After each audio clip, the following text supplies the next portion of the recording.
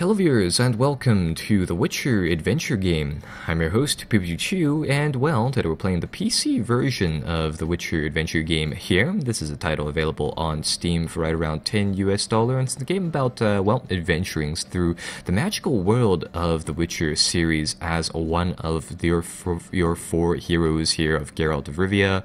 Um, you have Triss Merigold, Dandelion, and Yarpen Zigrin, all familiar faces inside the, uh, the Witcher line of games and series in general. Um, so anyhow, today I figured we'd run through the single player, or you know, one single player match, this, uh, if you will, here. And well, uh, just before we begin, this game is available uh, on Steam for right around 10 USD. Um, you can play this in online multiplayer, hot seat multiplayer, and of course as a single player game. And I think we'll just play as Geralt of Rivia here. Um, I think we'll have one Dandelion AI opponent, one Triss Merigold AI opponent, and I think we'll just leave uh, Yarpen Zigrin out here because the game gets quite long the more uh, heroes that you have. Um, so anyhow, today I figured we'd play through a regular uh, paced game, and how this works is that uh, each and every single one of your heroes here, each and every single one of the players that is, embark upon a series of main quests, and this can be as short as one main quest or as long as five main quests here. And how these quests work out is that in general you'll embark upon a series of encounters, obstacles, and challenges in which you uh, effectively try to rack up victory points. Whenever somebody finishes um, the designated amount of uh, main quests here, if you will. Uh, the game is tallied up, and whoever has the most victory points uh, effectively pretty much wins here. So, uh, with that said, let's just begin and let's, uh, well, see this in practice and how it plays out. And the one thing about this game is that it is just absolutely wonderfully well fleshed out here. So at the beginning of the uh, the game, we get to choose between two main quests, and we have uh, two right here. So we have Crow Pass and Going Rogue. Um, first thing that I should mention is that uh, well, each and every single one of these heroes are unique simply because they uh, they each have different specialities and they get different types of quests. So uh, Geralt of Rivia here is built around doing these combat quests, so a lot of our actions re- revolve around that. Um, the two that we have here is Crow Pass. Soldiers have moved and been have Rather, uh, soldiers moving through Crow Pass have been disappearing, and now entire regiments refuse to move through the Cursed Pass. The generals want you to uncover what haunts this what haunts its craggy peaks. And the other one being going rogue. Maverick Scoia'tael commanders terrorizing the the woods around Rivia. Attempts at diplomacy have failed, and several messengers have been found dead. There is only one solution now. So uh, we can choose between these two different um, main quests, and how this works is that uh, each and every single one of them have have a main a, a main encounter here at a different location um, each and every single one of these generate eight victory points, and uh, quests do vary. So you can have some harder ones or you know longer quests that generate more uh, victory points, and each and every single one of these will have uh, a few side quests and support items that we can also accomplish to generate even more victory points and in general help us out along our journey. And I think we'll go do the Crow's Pass here. So what this will do is that we'll have uh, one main encounter here at Trielgor, and we'll also have a few side quests to do. So I think we'll lock that that in, and that'll just uh, begin the game nice and properly. And uh, well, how the how the game works here is that if I bring up Geralt's uh, panel here, each and every single one of these characters has a special uh, icon here. Um, in addition, they'll have a resource exchange rate here. They'll have a special quest deck. They'll have a special starting location and start out with a bit of cash and a special uh, dice roll here. So how this works is that each and every single one of these locations on this just I've got to say wonderfully done map generates you different proofs, if you will. I I, I tend to call these proofs just uh, you know green or sorry not green but uh, purple, blue, and red drops, if you will. Um, as you get these drops, you convert them into these leads, and you use these leads to, uh, or you use leads and proofs to really just accomplish these different uh, tasks that you have on these, um, well, main quests and uh, and other things here and there. So, uh, with that said, how we want to proceed inside this is that we have a wide variety of different actions here that we can do. We can travel around the map to grab those jobs. We can investigate locations to grab an investigation card, so an encounter, if you will. Or alternatively, we can develop uh, Geralt of Rivia to give him a special ability here or there. I think we'll start off by advancing. We'll just do a plain old travel move and we'll advance over here because Geralt starts out inside K- uh, Kaer Morhen, which isn't exactly the best location to start off with. We'll advance over here. We get a choice between grabbing one purple or one uh, red drop, and we'll go for the red because we're. We're, we're geared more towards uh, red drops, as you can see. Um, we can convert three three red into one lead, uh, five, five, five blue into one lead, and seven uh, purple into one lead uh, of their respective types. And that's because each and every single one of these characters are geared toward a different thing, so the exchange rates do differ here and there. Right, so now that we moved here, we get a second action, and I think we'll just um, investigate this, this, location. Let's see what we get. And again, um, we'll we'll we'll have a tendency to go through the uh, the red cards, if you will, here, but we might go through some of the other ones as well. So let's see what happens here. So let's see. Prepare for battle. All sides to point to an imminent battle. It would be wise to take a breather and prepare for the fight. So we'll receive one red. Um, we roll our hero dice. We obtain a success. We get three development cards and we can choose one. So that is pretty much that. So let's see what we get here. Um, let's see we have oh, actually we finished that off just right like that so that's quite nice. And that'll allow us to grab a development card as well. So that's yeah that's actually really really good Right. So what just happened there is, yeah, yeah, development where invest, investigations will give you uh, special events, if you will, that will allow you to do some some stuff like that. Um, development usually gives us one of these things. So it's a gear card, which is uh, you know more or less an, a utility icon that we can use to uh, to to do something with. And um, I'm not really sure what brew does, but rest heals you up uh, as well there. So let's grab one of these three items. This one I'm, I'm liking the the Forest potion type of thing. So I think we'll grab that and I'll just lock it in in our, uh, well, inventory here.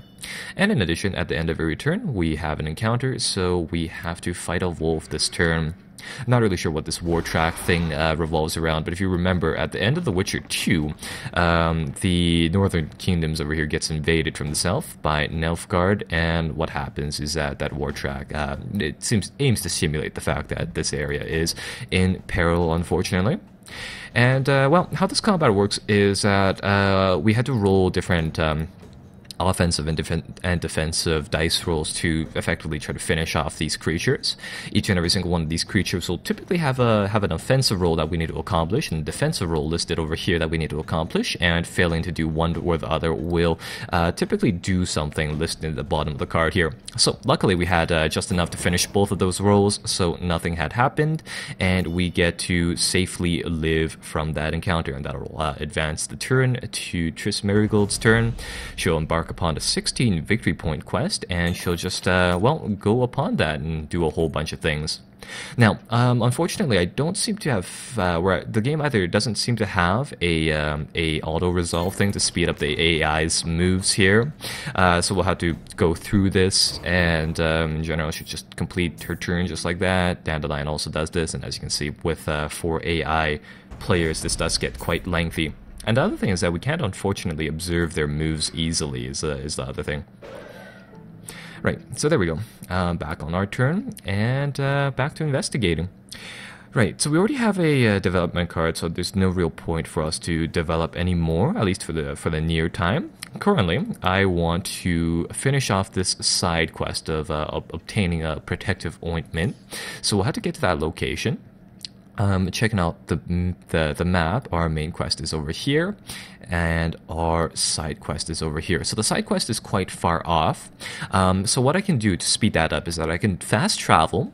What this will do is that it'll allow us to jump two places on the map um, at once, but it'll give us one of these Foul Fate cards. So I think we'll start this off, and uh, I think we'll go to, let's see, um, hmm, I think we'll go over here to Oxenfurt and that should allow us to go to Vizima and Maribor just like that. So we'll hit that up just like that. It'll allow us to advance. Grab us the uh, let's grab another let's grab a blue drop this time. It'll draw us one fell fate card and oh would you look at that? It gives us despair. So folk spread bad tidings in hushed tones and trembling voices and you begin you begin to doubt you'll ever become or you'll ever be victorious. So let's see uh, we'll lose 2 vp then a player with the most vp loses 2 so that should just fire off in a bit and we still have one action point right now. So let's see. Let's do uh, let's do this brew icon, which will give us one of our uh, potions to use. That'll fill up this thing, so we have one of these potions, which will allow us to use um, that later on, which will be quite nice. And now we have to, uh, well, resolve another event. And there was a Fate icon here, so there's another one of these things. Dangers multiply. The Witchers pay little heed to war, but they can't ignore the ever-increasing dangers um, dangers stalking the roads. So it looks like on this thing, we get the uh, choice, I believe, of putting down, where no, it looks like the game automatically does it, of putting down two monsters on the roads, so it makes the map slightly more dangerous there.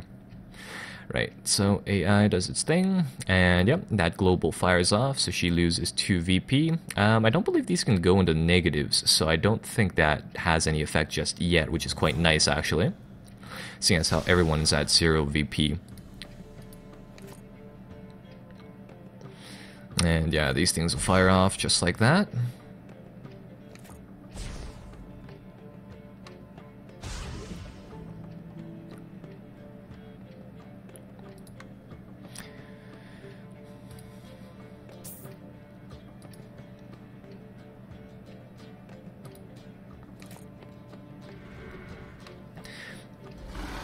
And that'll be that. So that'll go back onto our turn, which is quite nice.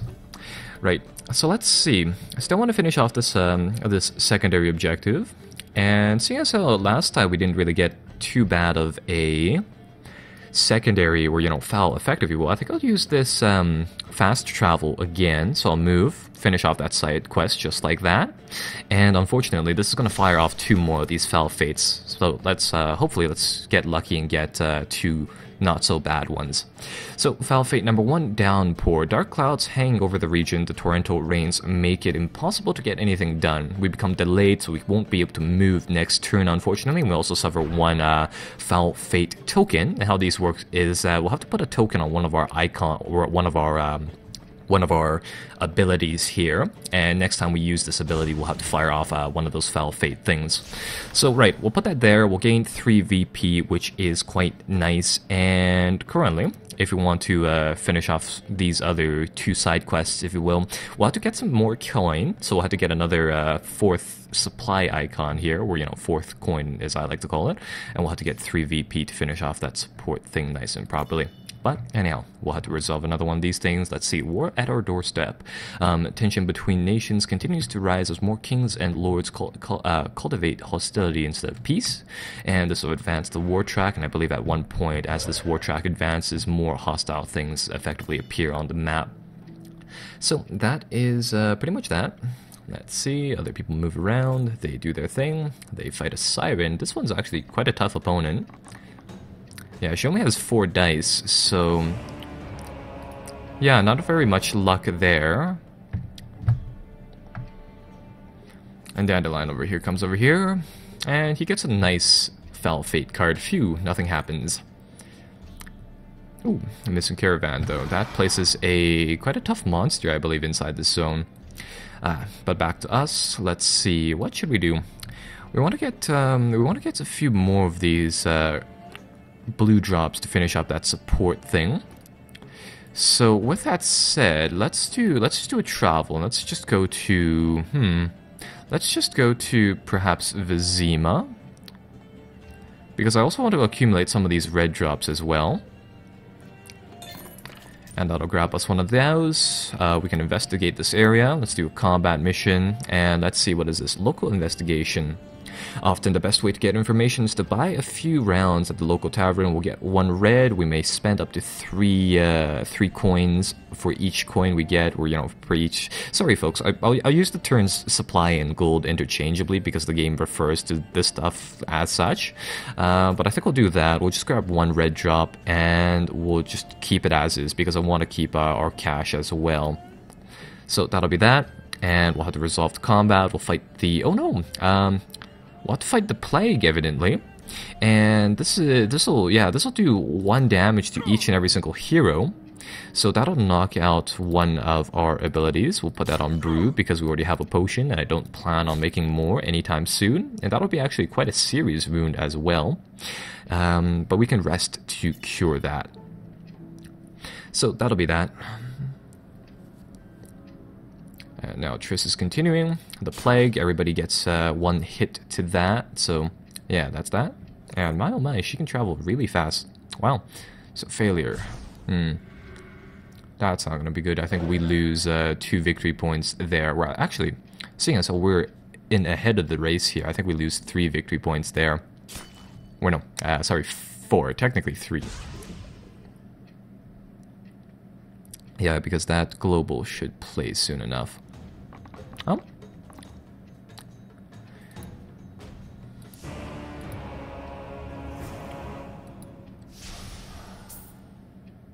Ooh, he fights a he fights one of the hardest creatures in the game from the looks of it. Yeah, that success condition needs a needs a whopping 10 die, so that does a absolute crap ton of damage to um, to Dandelion right there. And because of this despair thing, we lose either... Oh, actually, we only lose one VP, or one Foul Fate. Um, let's see, I think we'll just lose... Uh, you know what? We're in ahead of the race because Dandelion took a major hit there, so I'm not. I'm I'm fine with taking a hit on VP. So we'll do that, and following that, I think we'll just travel to Vizima. We'll grab another one of these uh, blue warrior uh, blue drops, yeah, just like that. And now we have the choice of either resting or investigating. I think we will. I think we'll investigate. So far, my damages aren't that aren't too bad. We'll do another one of these things, and oh, dangerous travel. We're traveling through the swamp. Uh, may sometimes be the fastest route. It is never the best. Next time you perform travel action, fight a battle before moving. Um, enemy plus three, were you know three three damage things there. So that is pretty much that. We also have Siren at this location. So let's see. Drop our roll. We have a lot of these dice um, things compared to the other characters, so it's not too bad for us. And, oh. Yeah, we can finish this thing off, but we'll suffer um, one damage. And one bad fate uh, thing. Hmm. You know what? I think I'll, uh... Damn. I can only use this potion at the beginning of the battle, which is uh, something that I didn't expect, so... We'll have to suffer one damage, and we'll also have to suffer one of these Foul Fate cards, so I think we'll put that on these two things, and we'll just end our turn just like that.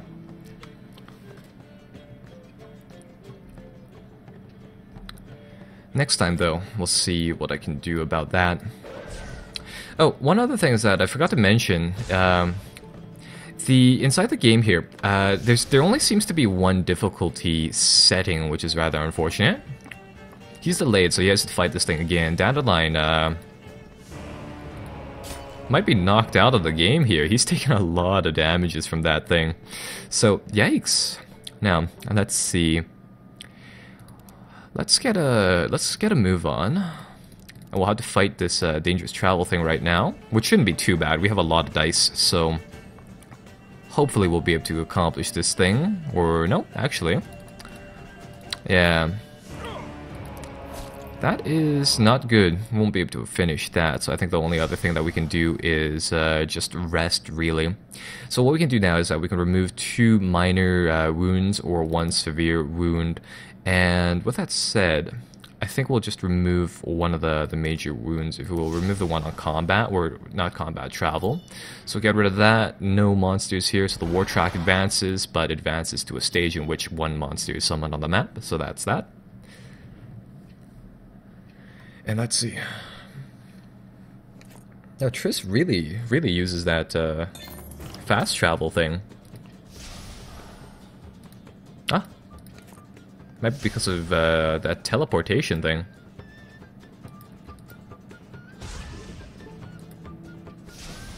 Right, so back to Dandelion. He finds a friend. Does he have to fight this thing again? Oh, yes he does. Terrible rolls here. Yeah, because he only he he only gets four dice. So either way, it is very, very difficult for him to overcome that monster. But that is good for us. Now, let's see. What can we do? What can we do? I think we'll just advance, really. We'll go into Oxenfurt, an area grab one another one of these drops, and what we can do now is that uh, we should be able to spend three blue at one point to grab this thing. So just before that, um, I think what I'll do is that I'll I'll investigate. We'll go through uh, one of these foul fates again, but we'll grab uh, oh royal assistance, which would be quite nice. Ah, oh, damn, sorry, uh, I didn't read off the text there, but it'll allow us to grab um, the, the thing that we need to finish off this quest, which is quite nice. It'll grab us uh, a foul creature inside this area, so it'll place this thing down here. And we'll have to resolve this. We get to fight one out of these two, or one of one of these creatures. I'm gonna see what is the other creature because it might be slightly easier. And it was a ghoul, so this one's not too bad. So we'll scatter our dice and hope that we have enough combat rolls. Because yeah, we have six dice, so we shouldn't be mucking up the combat all too bad. But it looks like, uh, yeah, we'll fail this thing. Um, it'll...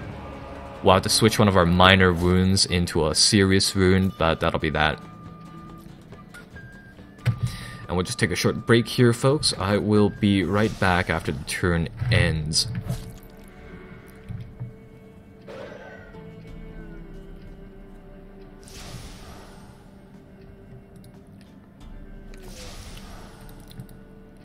Yeah, so this full match, oh my god, just again.